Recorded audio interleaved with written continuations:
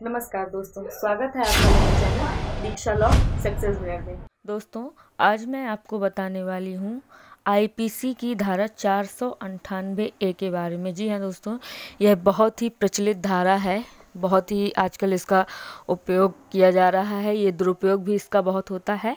तो आज मैं आपको धारा चार सौ अंठानवे ए के बारे में बताने वाली हूँ। तो सबसे पहले जानते हैं कि ये धारा चार सौ अंठानवे ए क्या है?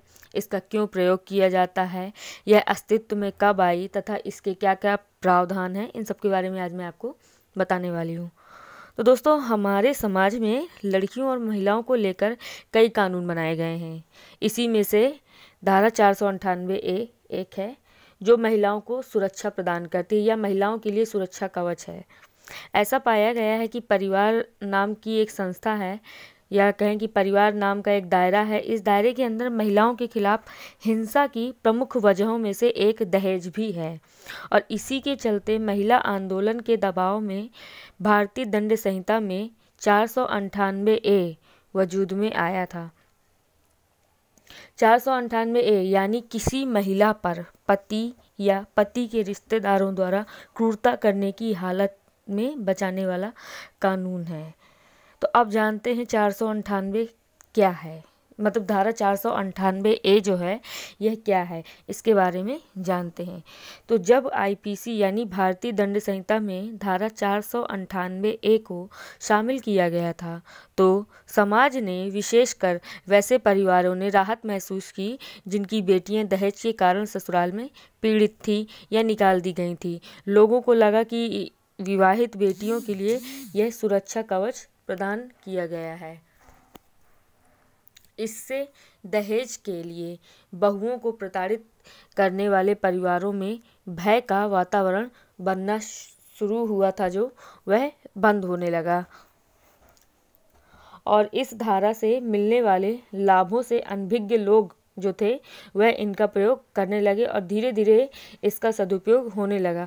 पर कुछ ही समय बाद इस कानून का ऐसा दुरुपयोग भी शुरू हुआ कि जिससे वर पक्ष के लोगों को डराने में यह कार्य करने लगा। तो अब आते हैं धारा चार सौ अंठानवे ए। यानी इसका क्या प्रावधान है? कानून में, कानून के तहत ये जानते हैं। तो दहेज प्रताड़ना से बचाने के लिए 1986 में आईपीसी की धारा चार सौ ए का प्रावधान किया गया है। इसे दहेज निरोधक कानून कहा गया है। ये कहें कि दहेज प्रथा अधिनियम के नाम से भी जाना जाता है।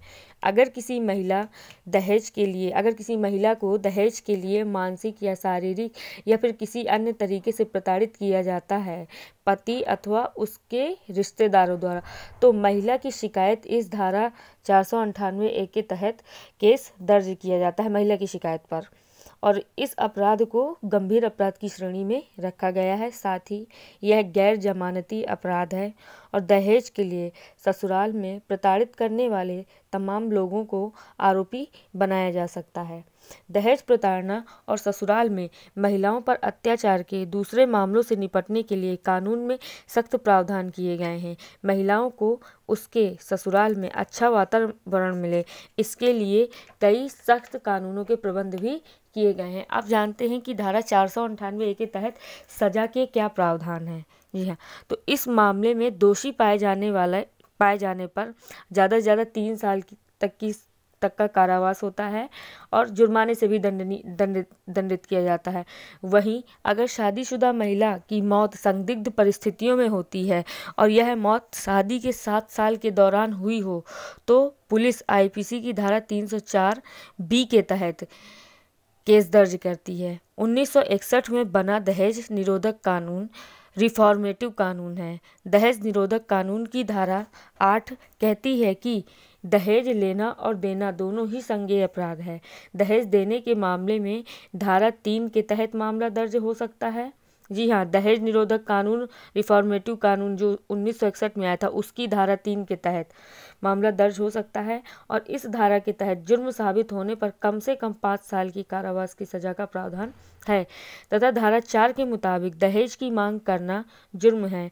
शादी से पहले अगर लड़का पक्ष दहेज की मांग करता है तब इस धारा के तहत केस दर्ज होता है। अब जानते हैं कि धारा चार सौ अंठानवे ए में राहत का क्या दायरा है? मतलब कि राहत कहाँ तक किसको राहत मिल सकती है?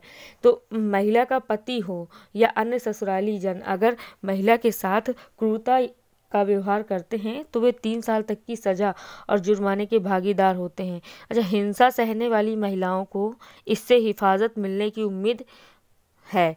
यही नहीं, वह संविधान महिलाओं के साथ भेदभाव, हिंसा दूर करने वाले अंतर्राष्ट्रीय समझौता के दायरे में महिलाओं के मामले देखेगी। तो फाइनली मैं आपको धारा चार सौ अंठानवे जो है, उसका निष्कर्ष यही निकलता है कि जो भी पति या पति के रिश्तेदारों द्वारा किसी महिला के साथ क्रूरता का व्यवहार किया जाता है, ऐसी क्रूरता का व्यवहार दहेज के लिए किया जाता है, शारीरिक, मानसिक किसी भी तरीके की तो उसमें अपराधी को तीन साल का कारावास तथा जुर्माने से दंड दिया जाता है।